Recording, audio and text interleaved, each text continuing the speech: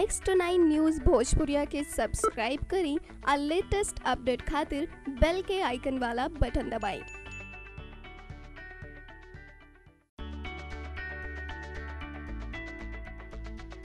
भोजपुरी फ़िल्मों के दबंग सुपरस्टार का जलवा किस कदर उनकी फ़िल्मों में दिखाई देता है, इसका पता हमें दर्शकों में दिखाई दे रहा है। जी हाँ उनके जोश से चलता है। जी हाँ हम बात कर रहे हैं पवन सिंह की, जिन्होंने अपनी एक्टिंग से भोजपुरी सिनेमा में धूम मचा दी है।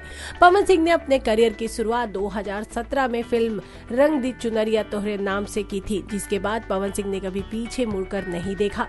बल्कि समय के साथ साथ पवन सिंह की लगन और मेहनत के चलते वो तरक्की की राह पे बढ़ते ही चले गए। पवन सिंह का जन्म 6 मार्च उन्नीस सौ छियासी को जो कहारी आरा बिहार में हुआ। जी हाँ उनकी एल्बम लॉलीपॉप गिल्लू ने तो भोजपुरी सिनेमा के साथ साथ बॉलीवुड में भी सबको अपना दीवाना बना दिया।